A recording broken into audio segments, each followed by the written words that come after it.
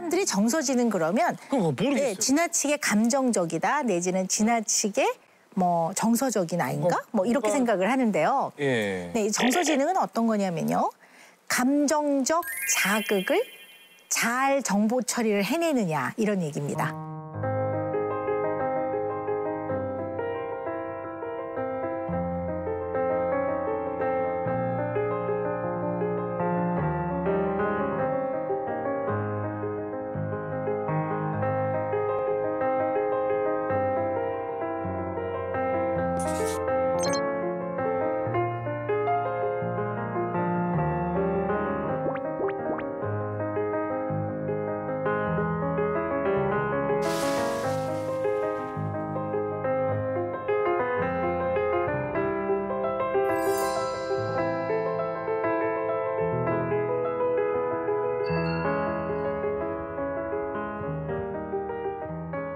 영어로 네. EQ라는 말만 많이 들어봤지. 네네네. 그게 네. 우리 말로 어떤 능력을 말하는지는 이렇게 기능적인 설명은 처음 들어봐요.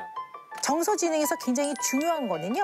끈기와 열정과 만족 지연 능력과 충동을 최소화하는 이런 것들이 다 들어갑니다. 아이가 성장하면서 공부뿐만 아니라 생활을 하다 보면 맞아요. 좌절도 있고 맞아요. 스트레스도 있고 본인이 원하지 않는 것도 우여곡절이 되고 얼마나 많아요. 공부뿐만 아니라 생활을 하다 보면 이때 만족을 좀 지연해서 참아내고 그다음에 충동을 최소화하면서 끈기를 갖고 열정을 갖고 해나가는데 내 감정과 타인의 감정을 잘 알고 감정이 동요됐을 때 이것을 잘 처리해 나가는 많은 방법을 배우는 거. 이 모든 걸 포함하는 것이 정서지능입니다. 자, 그래서 이 A, A하고 B 아이들 요 실험한 걸 이렇게 보시면요.